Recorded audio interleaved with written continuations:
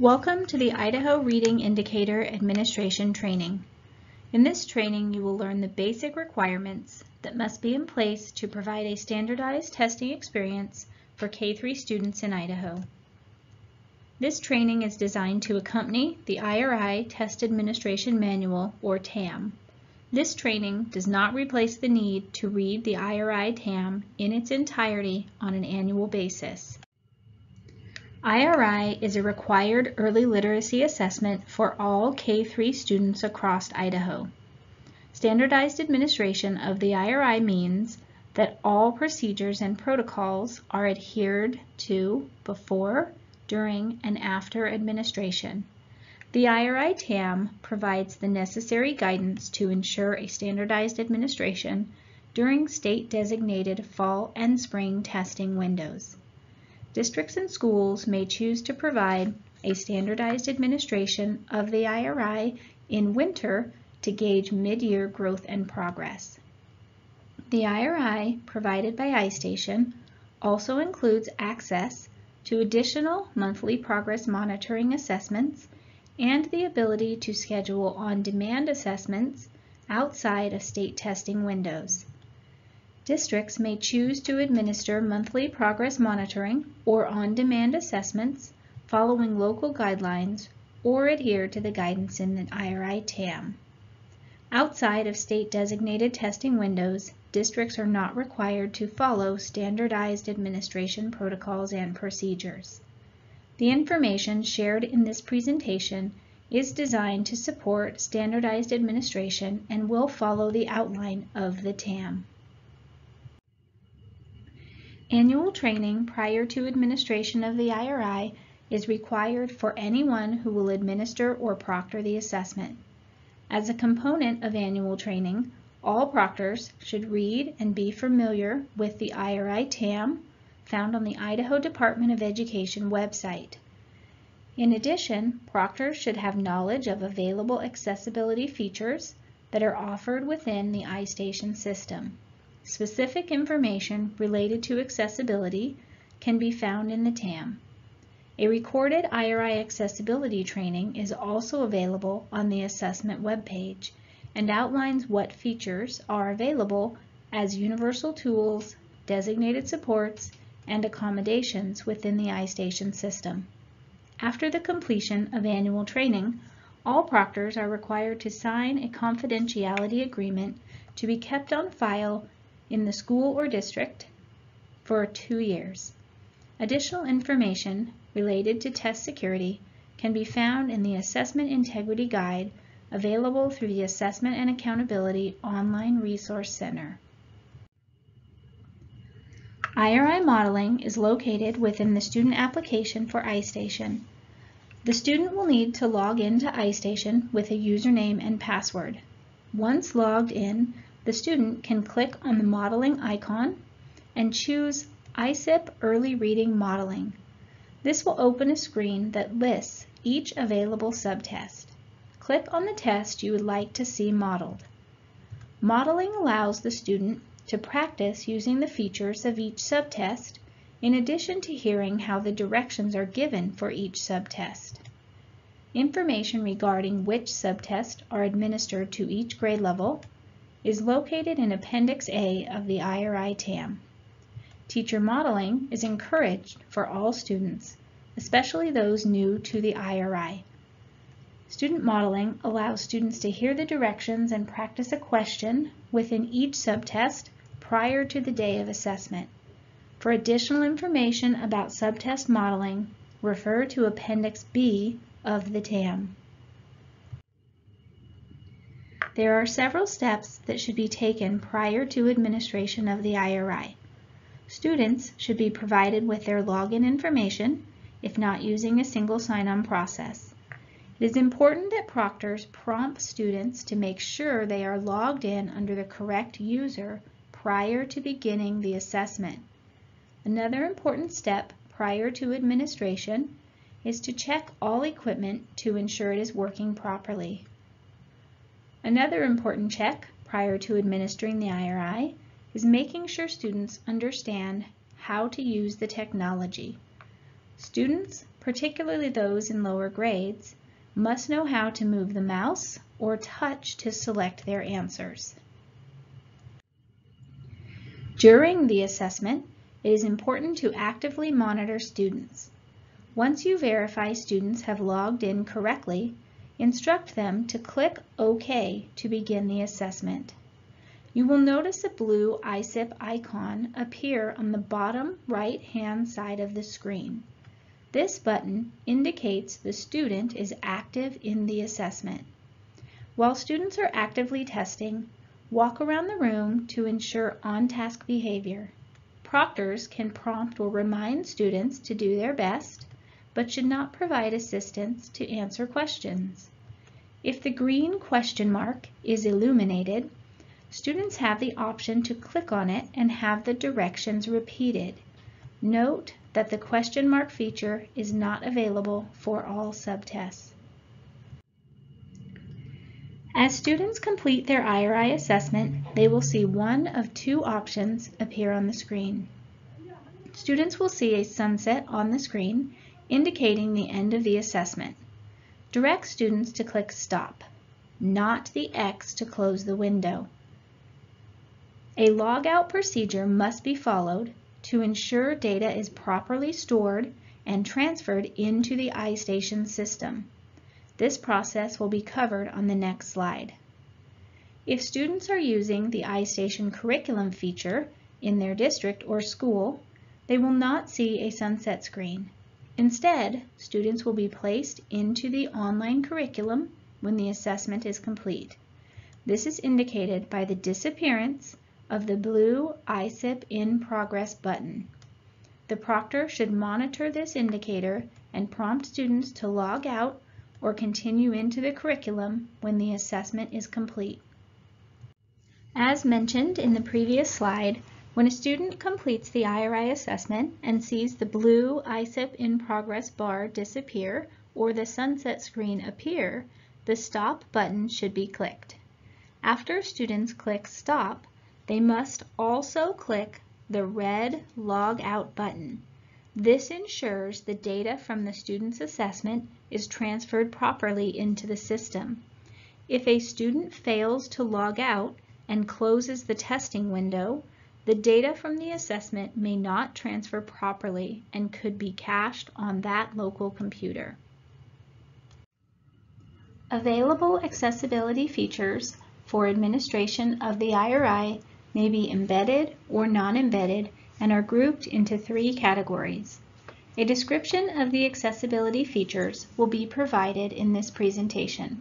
Additional information regarding IRI accessibility is available in the IRI TAM on tables 2, 3, and 4. You may also access the IRI accessibility training vignette on the SDE IRI website or on the SDE YouTube Assessment Online Vignette Training Catalog. For further questions related to IRI administration, you will want to contact your district or school IRI implementation coordinator.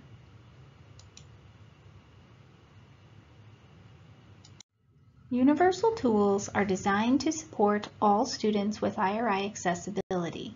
These features are available for all subtests within IRI and are detailed in Table 2 of the IRI TAM. Teacher and student modeling is available to support students prior to the administration of the assessment.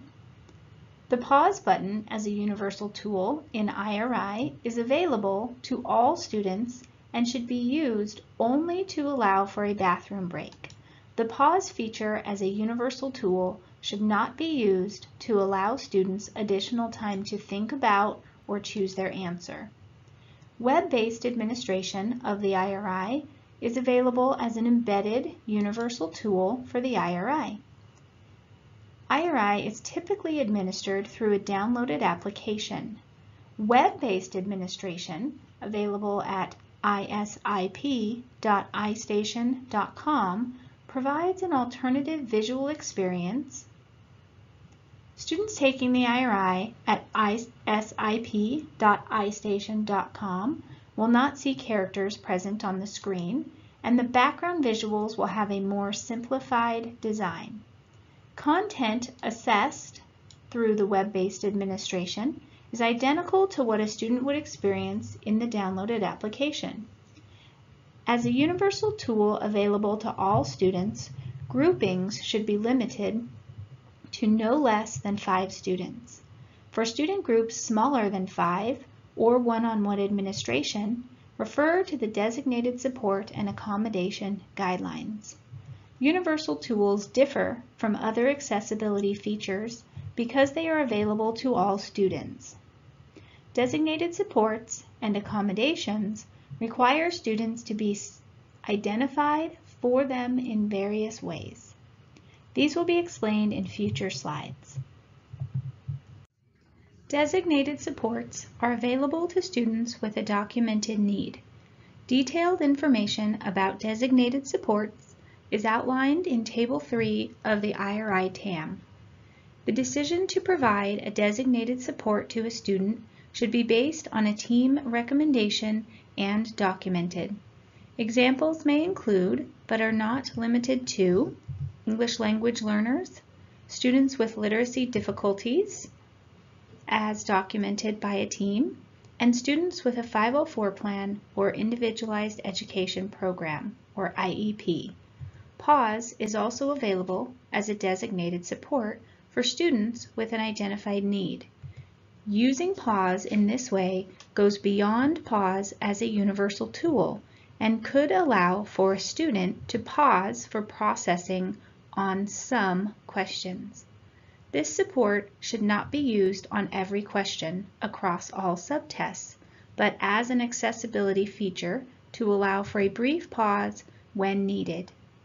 Remember that students who overuse this feature will have a flag within their student detail report indicating excessive idle time.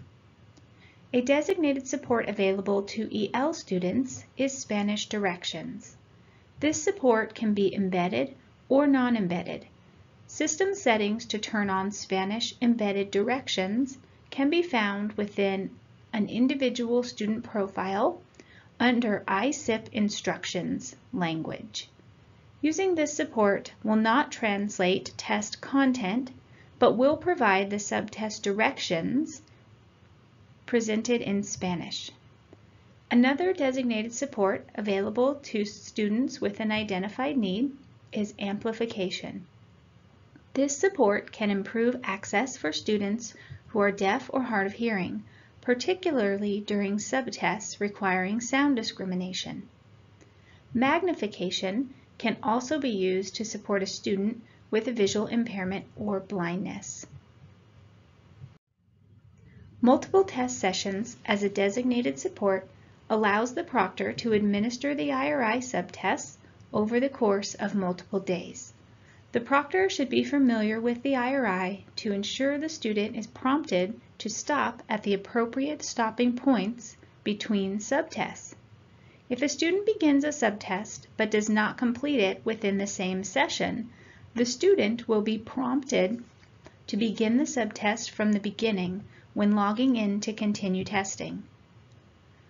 Providing a separate setting for administration can reduce background noise and distractions for students. The separate setting designated support can also be useful for students who may be using other supports and accommodations that would require the student be tested separate from other students. The final designated support approved for use in the spelling subtest only is scratch paper.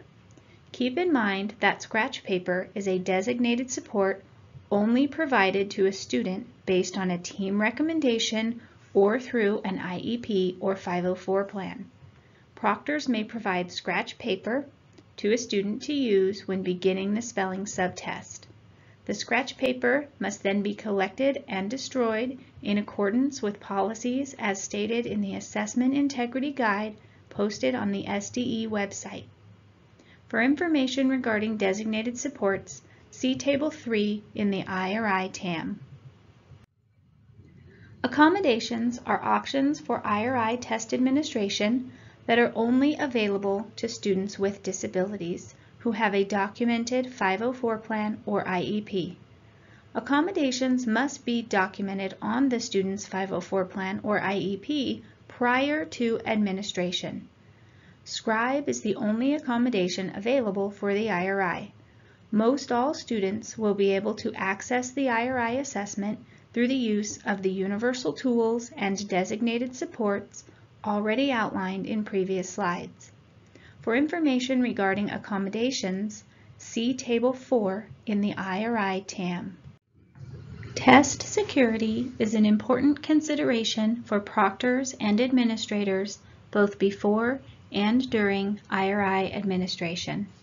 There are two types of test incidences, an impropriety and an irregularity. Test improprieties include incidents that are low risk and impact only a portion of the test battery, two or fewer subtests. Test irregularities include incidences that could possibly impact the validity, security, or outcome of the assessment. If more than two subtests are impacted, the incident will be considered a test irregularity because of the impact to test validity. Definitions for both types of test incidents are provided in Table 5 of the TAM along with the appropriate action a district should take. This will also be covered on the next slide. Districts should also refer to the Assessment Integrity Guide posted on the SDE Accountability website for additional information regarding test security. Both improprieties and irregularities must be reported to SDE through the test incident log. Both types of incidents are behaviors prohibited either because they give a student an unfair advantage or because they compromise the secure administration of the assessment. The test incident log is an SDE secure online application that collects all test security incidents. School and district test coordinators should ensure that all test security incidents are documented in the application within two days from the occurrence of a test irregularity and four days from the occurrence of a test impropriety. A test impropriety may require a system manager to schedule up to two on-demand subtests. No more than two subtests may be administered as on-demand during state testing windows. A test irregularity may require districts to request the test be reset. This is required if more than two subtests are impacted by the irregularity. SDE staff will be in contact with districts to confirm the test reset. For questions regarding the administration of IRI, contact your school or district testing coordinator first. If additional questions exist, contact Elena Knopp by email or phone.